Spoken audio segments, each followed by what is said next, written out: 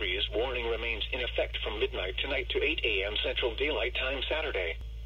Temperature, lower 30s, with pockets of upper 20s. Impacts, sensitive plants should be protected. Also, proper shelter needs to be provided for outdoor animals. A freeze warning means sub-freezing temperatures are imminent or highly likely. These conditions will kill crops and other sensitive vegetation. Frost advisory in effect from 2 a.m. to 8 a.m. Central Daylight Time Saturday.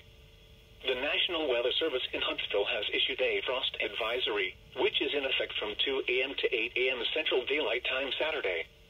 Timing and areas affected, all counties in northern Alabama and southern middle Tennessee until 8 a.m. Central Daylight Time Saturday morning. Temperature, temperatures falling into the lower to middle 30s. Impacts, these temperatures may cause harm to sensitive outdoor vegetation if left uncovered, especially in open flood terrain and in sheltered valley locations. A frost advisory means that widespread frost is expected. Sensitive outdoor plants may be killed if left uncovered.